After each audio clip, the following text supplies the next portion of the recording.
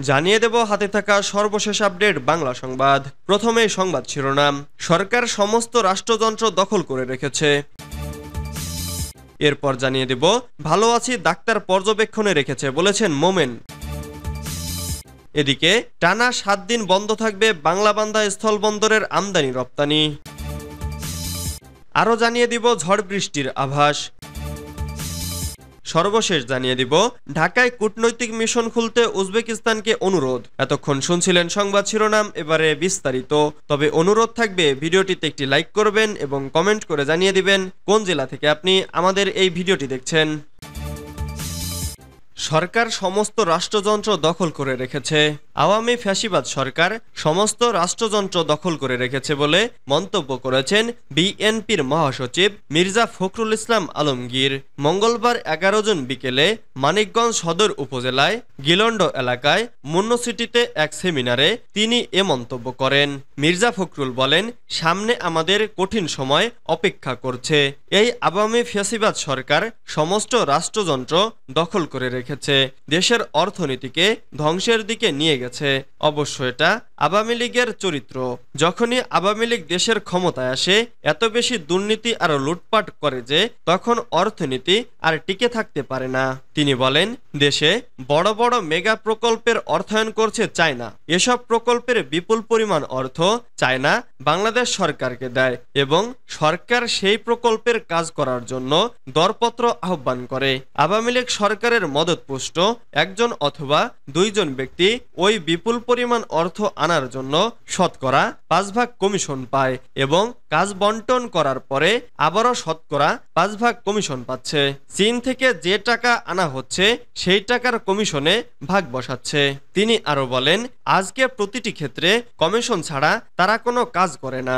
সরকারের অন্যতম আর্থিক প্রতিষ্ঠান নগদ। এই নগদে লেনদেন করলে প্রতি এক টাকায় পাঁচ পয়সা কমিশন পায়। এই কমিশন কোথায় যায়? এই কমিশন বিশেষ কোনো ব্যক্তির কাছে যায়, দেশের বাহিরে যায়। বিএনপি মহাসচিব বলেন, দেশের স্বনামধন্য অর্থনীতিবিদরা বলছেন, দেশের অর্থনীতি বিপর্যয়ের মধ্যে রয়েছে, কিন্তু তারা স্বীকার করতে চায় না।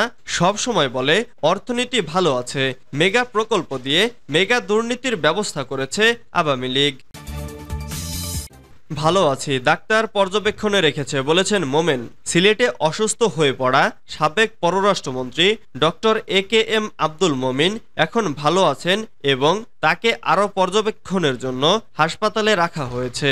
বুধবার সকালে তিনি বলেন, সিলেটে আমার ধারাবাহিক কর্মসূচি থাকায় এমনটা হয়েছে।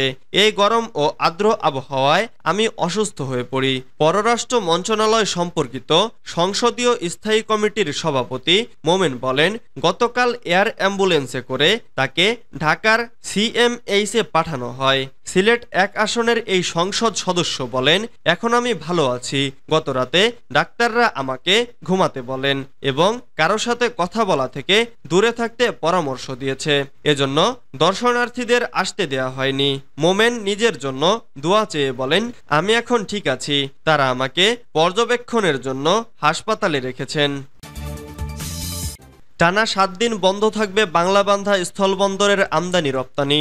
পবিত্র ঈদুল আজহা উপলক্ষে বাংলাবান্ধা স্থলবন্দর দিয়ে ভারতের সঙ্গে টানা সাত দিন বন্ধ থাকবে আমদানি রপ্তানি সহ বন্দরের সব কার্যক্রম।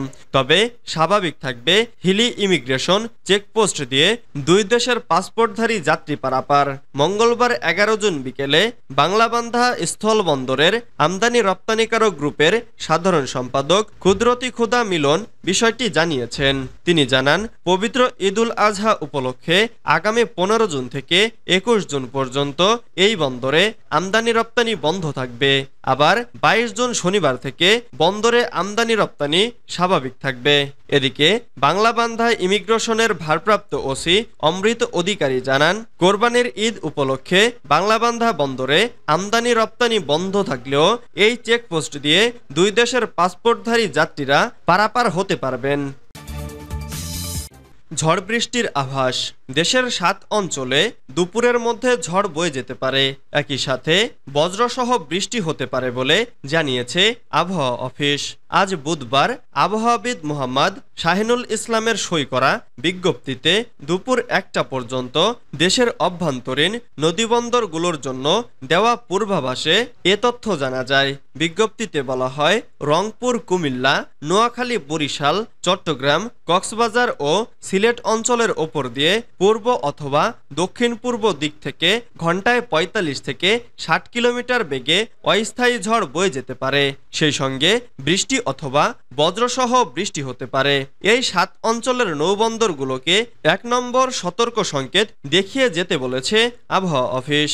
আবহাওয়া অধিদপ্তরের অপর এক বিজ্ঞপ্তিতে আজ বুধবার সন্ধ্যা ছয়টা পর্যন্ত আবহাওয়ার পূর্বাভাসে বলা হয়েছে, রংপুর, ময়মনসিংহ ও সিলেট বিভাগের অনেক জায়গায়, ঢাকা ও চট্টগ্রাম বিভাগের দু এক জায়গায় অস্থায়ীভাবে দমকা হাওয়া সহ হালকা থেকে মাঝারি ধরনের বৃষ্টি ও বজ্রসহ বৃষ্টি হতে পারে। পাশাপাশি ময়মনসিংহ ও সিলেট বিভাগের কোথাও কোথাও মাঝারি ধরনের ভারী থেকে ভারী বর্ষণ হতে পারে। ঢাকায় কূটনৈতিক মিশন খুলতে উজবেকিস্তানকে অনুরোধ। ঢাকায় কূটনৈতিক মিশন প্রতিষ্ঠার জন্য উজবেকিস্তানকে অনুরোধ করা হয়েছে। তাসখন্দে আয়োজিত এক বৈঠকে বাংলাদেশের পক্ষ থেকে এ অনুরোধ করা হয়। বুধবার বারোই জুন পররাষ্ট্র মন্ত্রণালয় এ তথ্য জানায়। বাংলাদেশ ও উজবেকিস্তানের মধ্যে তৃতীয় দফা ফরেন অফিস কনসালটেশন তাসখন্দে অনুষ্ঠিত হয়।